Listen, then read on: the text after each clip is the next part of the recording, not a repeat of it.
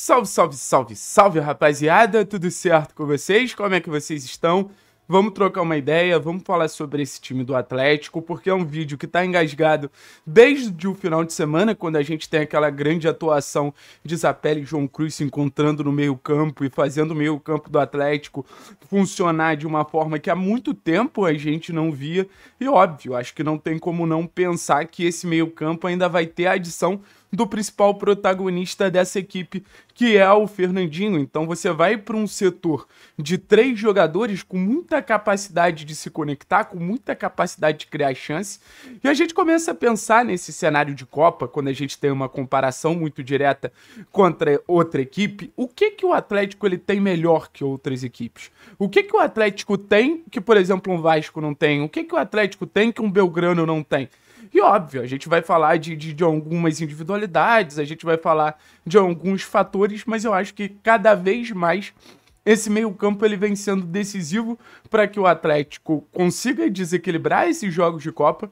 E acho que, pelo fato de não ter tido uma minutagem muito grande, Fernandinho, João e Zapelli, que me vem na cabeça só o jogo contra o, o Internacional e, e, você teve gol do João Cruz, você teve assistência do Zapelli, então você teve um impacto do setor como um todo.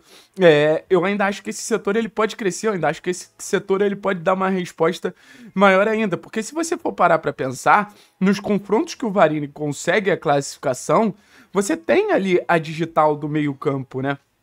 Contra o Cerro, você tem o gol do Christian, aí no jogo é, na Arena da Baixada, você tem tanto o Christian quanto o Zapelli quanto o Fernandinho participando das construções de jogo, aí quanto o Bragantino, você tem gol de Christian, você tem gol de Zapelli, você tem, querendo ou não, assistência do Gabriel, você tem participação dos jogadores da ponta, mas vindo para dentro, então meio campo querendo ou não atuando, aí você tem é, no jogo contra o Belgrano também, é, gol do Christian, gol do Eric. Então, assim, é um setor que tem uma relevância muito grande na maneira do Atlético atacar e um setor que tem uma relevância muito grande na maneira como o Atlético vem construindo seus resultados. Mas dessa vez é para falar mais especificamente sobre Fernandinho, João e Zapelli. O que, que esse meio-campo pode nos entregar? Como esse meio-campo nos condiciona? O que, que esse meio-campo ele pode produzir de diferente, já que eu considero o setor mais acima da média que o Atlético tem hoje dentro do seu elenco. Beleza, rapaziada? Vou pedir para você deixar o like, se inscrever no canal, isso tudo é muito importante. E primeiro a gente fala de forma mais geral, depois a gente vai pro lado mais individual da coisa. Lembrando que a KTO é patrocinadora oficial do canal 3 Pontos. Vou botar a barra da KTO aqui pra galera não se perder. Essa aqui de baixo não precisa. Uh, vamos lá. É... Coletivamente, eu acho que cada um tem a sua função, tá? Eu acho que cada um tem o seu compromisso dentro de um cenário que é um meio-campo que opta ter menos jogadores de, de, de briga, de luta, de pressão, para ter mais jogadores técnicos. Isso tem um lado positivo, isso tem um lado negativo, não tenho dúvida. Talvez o Atlético pudesse ser realmente um time mais protegido se tivesse Gabriel, se tivesse Eric no setor, mas é o meio-campo que acredita que o jogar futebol, que o jogar bem, que fazer esse meio-campo ser o, o cérebro da equipe é algo positivo fazer o meio campo ser algo desequilibrante a partir do momento que a gente tem a bola. E não se defender de maneira fechadinha lá, mas se defender muitas, em muitos momentos jogando, tendo a bola. O momento que o Atlético menos sofre defensivamente é quando ele controla o jogo e ele controla o jogo muito a partir desse meio campo. Então acho que desde o início da temporada a gente imaginava que seria um setor protagonista. Quando você tem Fernandinho, Bruno Zapelli e Christian, você tem uma expectativa alta com o setor, até porque são características que se encaixam por vários fatores. Esse meio campo não conseguiu engrenar, principalmente pela ideia de jogo dos antigos treinadores.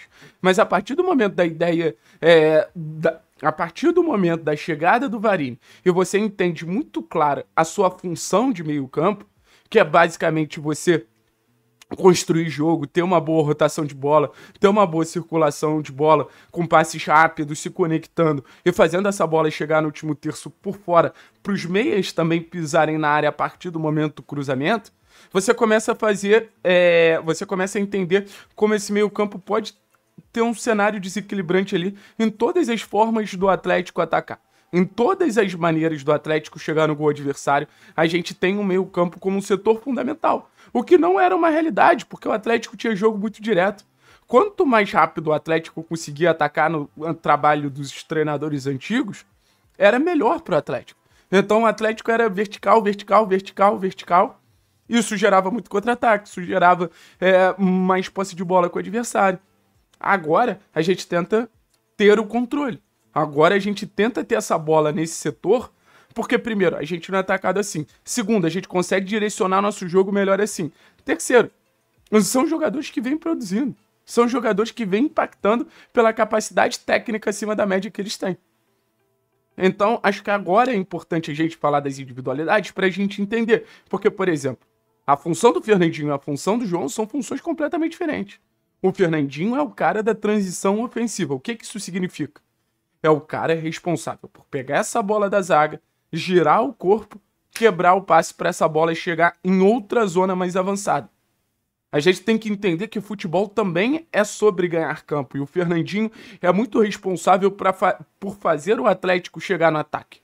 Muita gente fala: ah, mas se o Fernandinho jogasse de camisa 10?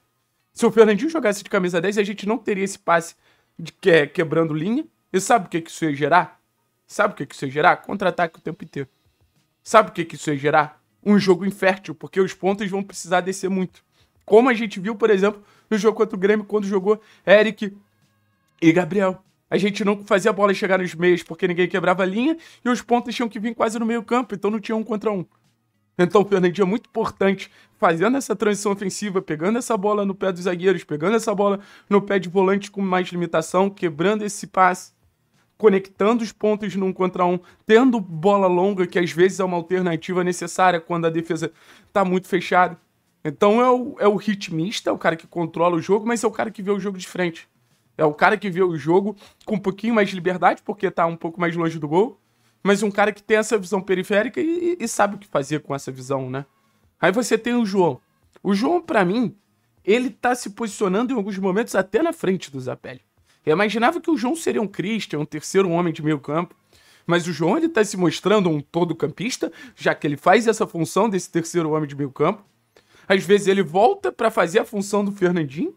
E às vezes ele pisa mais à frente numa entrelinha para chutar gol, para dar uma assistência, como um Zapelli. Então é impressionante o impacto que o João gerou em um meio-campo que já tinha muita qualidade. Você tendo um meio-campo com Fernandinho e Zapelli já é um dos mais talentosos do Brasil. O João Cruz chegou e conseguiu qualificar ainda mais o setor nessa capacidade de construção, nessa capacidade de passe, nessa capacidade de quebrar linhas, nessa capacidade dos jogadores se encontrarem para eles mesmos produzirem as chances, para eles finalizarem. Teve chance que foi Zapelli encontrando o João para João queimar gol. Então o setor ganha mais protagonismo ainda. E o João mostrando muita maturidade, posicionamento corporal, capacidade de ser pressionado e mesmo assim seguir com a jogada. Então é até difícil você falar, ah, o João é isso ou o João é aquilo.